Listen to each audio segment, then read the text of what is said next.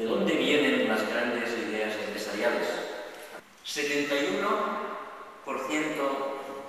de las ideas empresariales vienen de los trabajadores, no de parques tecnológicos, digamos, dirigidos con dinero público uh, por el gobierno regional, vienen de los trabajadores. La política de competitividad, la política de innovación no son planes industriales dirigidos por. El gobierno a hacer aquí un parque tecnológico donde las empresas biomédicas o las empresas de tecnología de la información y de la comunicación van a tener unos subsidios y se van a instalar aquí, les vamos a regalar no sé qué. Uh, eso no es la política de innovación.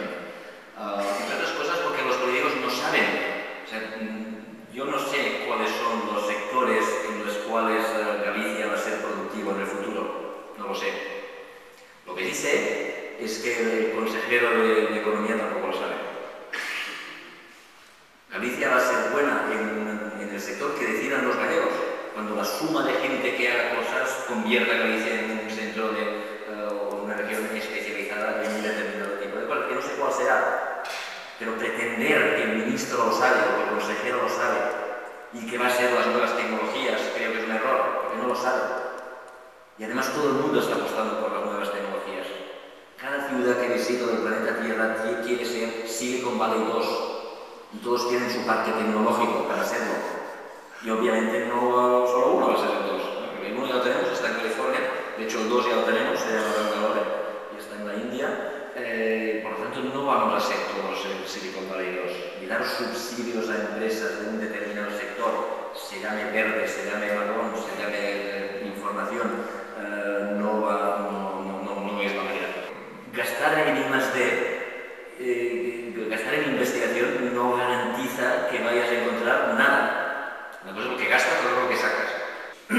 Por lo tanto, gastar en I+.D. sin saber lo que vas a sacar, si va a ser implementado eh, y, si va a ser productivo, me parece a mí que es... Uh, insisto, no quiero decir que no haya que gastar en I+.D. Es muy importante que un país tenga I+.D.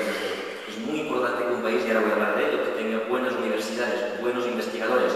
pero que nadie sea llevado a engaño este no va a ser el problema, la solución del problema de la competitividad. ¿Eh? ¿Qué hay que hacer para fomentar la innovación?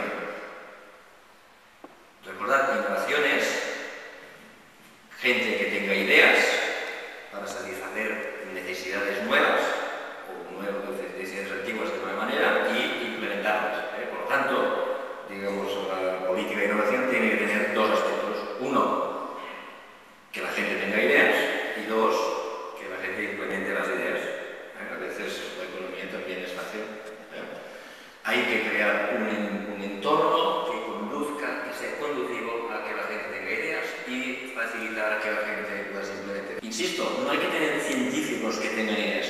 Tienen que tener ideas todos los ciudadanos, los trabajadores, los chavales antes de la universidad, los chavales después de la universidad, los chavales durante la universidad.